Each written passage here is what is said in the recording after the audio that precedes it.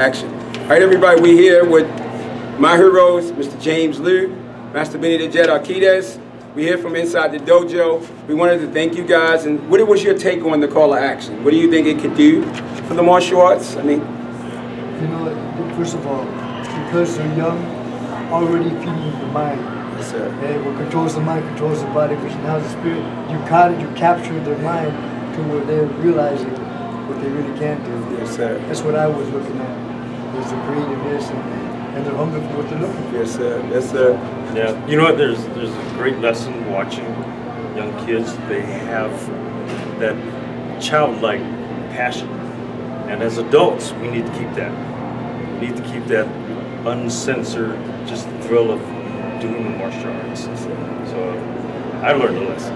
And, and, it, and, and if I say one thing to a, a, bunch of kids out there right now, just about you guys, and I, I say, and I mean this from the bottom of my heart, from a kid that's somewhere right now in the ghetto, and knowing that he probably just want to give up because his mom, or his dad, or somebody's not there, but he probably have a book or, or, or seen a, a movie of you, and he has been inspired what does such an honor when you know that without even you guys, I wouldn't be the man that I am right now? I mean, how does that make you feel to know that your spirit transcend your physical being somewhere in some hood or some country right now to produce a kid that just found a way to live from your example?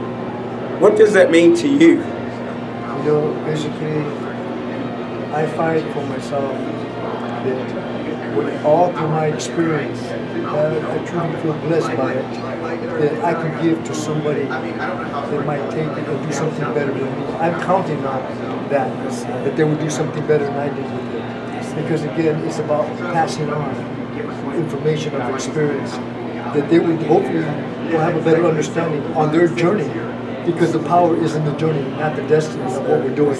That journey to them my journey has been great journey. And through my experience that I pass on, nobody can pay for my essence. I give my essence to them freely. Hopefully they'll do something great with it. Thank you, sir. That's beautiful words. I always, being young, you always think of yourself as the performer, the competitor. And as we get a little more enlightened in our life, now I'm finding myself to think of myself more as a teacher. And that's what a teacher will do is pass on our wonderful experiences, our, uh, which I have the most profound gratitude for. It's like how lucky are we to be doing something we love.